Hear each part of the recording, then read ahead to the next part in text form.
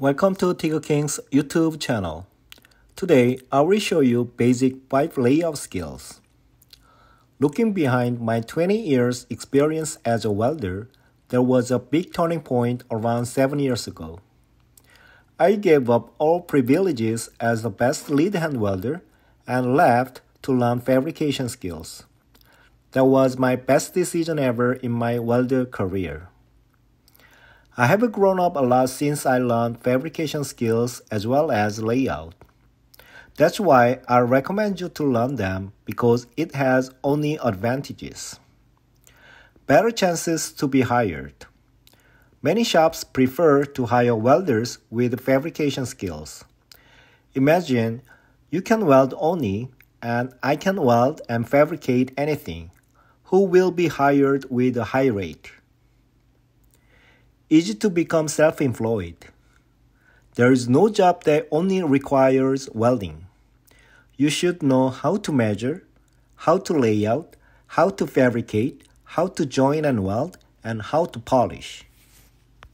Of many layout skills, I will show you two things for the pipe layout. How to find the center line of a pipe, and how to lay out any angle of a pipe. These are mostly used when you build a pipe spool. Most spools have branches, weldolets, or threadolets. We have to lay out the pipe to add these parts. For your easy understanding, I made a simple sketch and I will show you how to lay out step by step. I have to add three weldolets on the pipe. One is on the top and 3 inch apart from the pipe end. Second one is 73 degrees apart from the top and 7.5 apart from the pipe end. The last one is 68 degrees apart from the top and 5.5 apart from the pipe end. How to find pipe center. First, pipe should be leveled. Leveling is the first step for layout.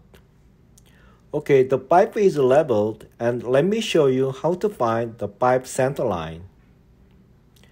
Second, find pipe outside diameter. It is a 3.5 inch size pipe. 3.5 doesn't mean its outside diameter is a 3.5. You have to measure it to get a real pipe outside diameter. I use a tape measure and move up and down to read the longest measurement.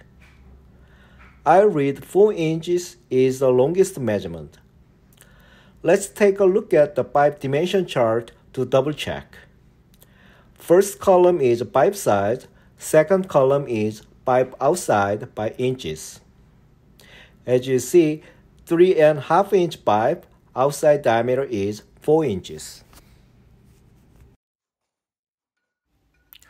Mark the half of outside diameter on the square.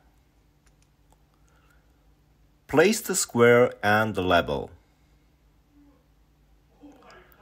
Make the top face level and mark the half OD. Repeat this on the other side of the pipe.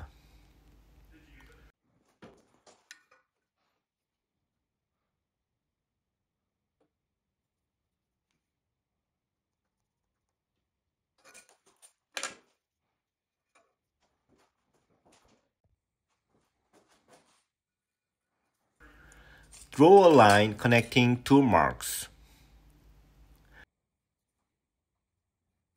This is how to find the center and mark center line of the pipe. Next, I will show you how to find the 73 degree location. Using a circumference tape measure, I find the pipe circumference. I start from 100 millimeter and wrap it around the pipe. The circumference is 419 millimeter. But you have to minus 100 millimeter because I started from 100 millimeter. The real circumference is 319 millimeter. The circumference of the 3.5 pipe is 319 millimeter and the outside diameter is 101.6 millimeter. Now it's time to find out the distance per degree. If I can calculate this, I can mark any angle on the pipe. The distance per degree can be calculated by dividing the circumference into 360 degrees. The circumference 319 divided into 360 is 0.886. The distance per degree is 0.886 millimeter. The second weldolet is 3, uh, 73 degrees apart from the pipe center line. The third one is 68 degrees apart. 73 multiplied by 0.886 is 64.5 millimeter. 68 multiplied by 0.886 is 60 millimeter.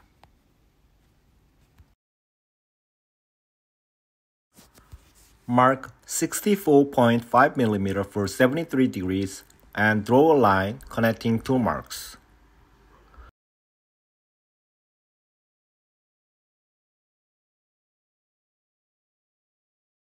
Mark 60 mm for 68 degrees and draw a line connecting two marks.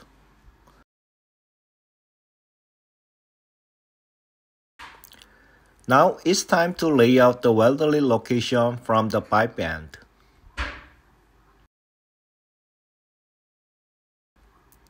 I use a tape measure to mark these numbers and center punch them for drilling.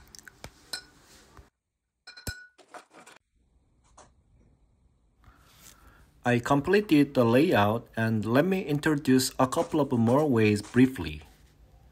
Another popular way is to use a pipe-center finder tool. It is very convenient and time-saving and easy to use. As you see, place the tool and center punch when it is leveled. Not only the center, you can mark any angle. I will show you how to mark 45 degrees for reference. The last method is to use a height gauge. Many pipe fitters and welders may not be familiar with this tool, but it is very accurate and easy to use. I bought this one from a retired machinist at 50 bucks, and it is one of my favorite tools. As you may guess from its name, we have to find the height to lay out with this tool. Let's take a look at my sketch again. I have already shown you how to find the pipe center and the other two weldolet locations using a square, a level, and a circumference tape measure. This time, let's take a look at the right triangle heights A and B. If you can calculate the height, it is just a piece of cake to mark the layout line with this height gauge. Can you calculate it? Yes, it is so easy. Now we have a height for A and B. Set the height gauge and just describe it. What is the first thing to do? You have to make a level.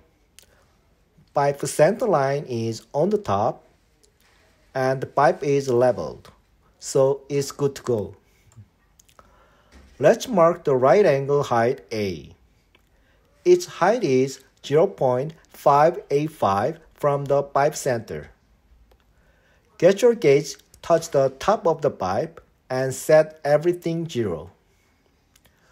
The pipe OD is 4 inches and the half is 2 inches. So I will lower the gauge 2 inches down and set everything zero again. Raise the gauge to 0.585.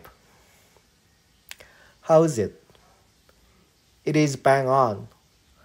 The line was made when I laid out using the circumference tape.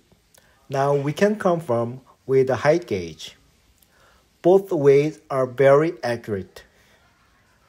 What you have to do is just describe it. For better visibility, I use the layout dye mostly. This is all I have prepared for today's episode. Please make an effort to improve your layout and fabrication skills too, as well as welding skills. I am 100% sure it will be an opportunity to broaden your horizons and to have better chances for your future career. Thanks for watching and see you next week.